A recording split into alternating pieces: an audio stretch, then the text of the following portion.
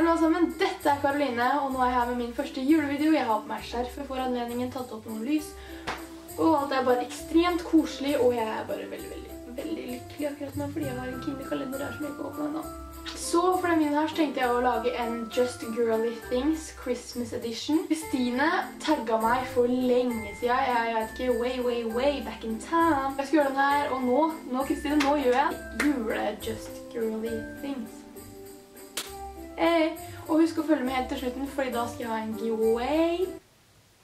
Hey. Jeg sa det riktig, ja. La oss starte. Hmm, kanskje jeg å fikse gaver til denne Hvilken Dato er det ikke dag?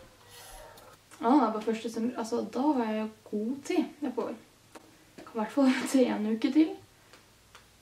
Oi, hvilken dato er det nå? Å, fy søren, altså, jeg må levere gaver i morgen. Um, Yuka next! Eller kanskje ikke med denne utsikten i hvert fall. Hm. Åh, tusen takk! Åh, please, det er en hund. Hmm, det høres ut som en hund. Det virker som det er en hund. Det må være en hund. Kom igjen, vær så vær så snill.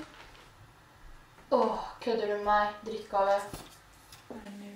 Er mener tusen takk. Jeg er veldig glad for det. Jeg alltid ønsket meg en matboks fra Joker. Bendit Joker. Jeg elsker jul. Da kan man bare gå i sånne deilige og varme gensere. Hvor lenge er det jeg egentlig har gått i den her? Altså, hvor lenge har jula vart? Det lukter ingenting.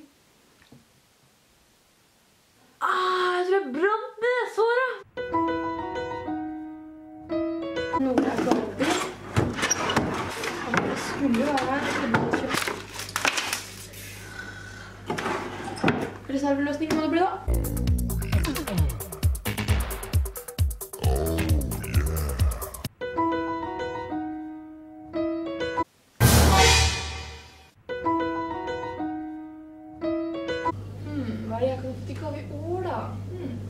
Vent, hvorfor gjør jeg egentlig det? Vi fikk jo gavene våre i går kveld,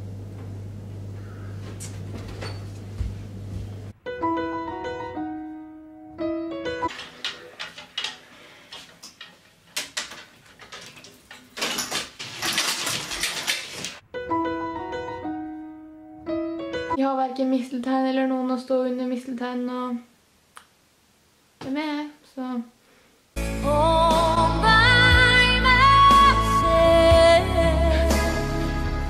det går bra. I samarbeid med så har jeg tenkt å ha en giveaway. For dere som ikke vet hva Caseup er, så er det en nettside der dere kan få egne deksler og sånne klistrelapper på iPhone og Mac. Og da har jeg fått lov til å gi bort et 300 kroners gavekort til en vit... Spytt i luftrøret. Mm. 300 kroners gavekort til en vinner. Det du trenger passe på for å gjøre det, er å skrive en kommentar hvor du skriver navn og e-postadresse.